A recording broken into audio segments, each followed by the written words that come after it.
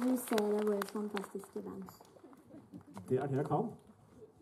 Uh, og da har vi rett og slett på høyre side av scenen, venstre for dere, så ikke det er noe tvil Han driver eh, Må du se ut jeg presenterer deg.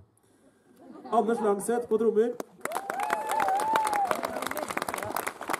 Vi har bak han Lasse Weeden på bass. Vi har ved hans venstre, deres høyre side, Jørgen Lund Karlsen på saksofon. Vi har Stig Espen Hunsnes på trompet. Vi har Sigurd Evensen på trombone. Bak her har vi på gitar Eirik Næss og kor.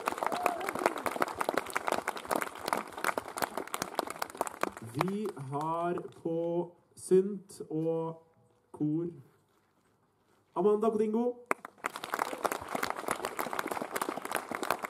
Vi har på eh, kor supervikar i dag, og hun har også bursdag, Kine Ludvigsen Fosheim.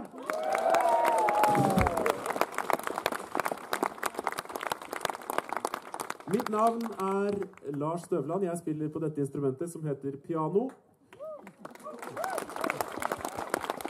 Og sist, men ikke minst, selvfølgelig, så er det Angelina Jordan dere har hørt og hører fortsatt.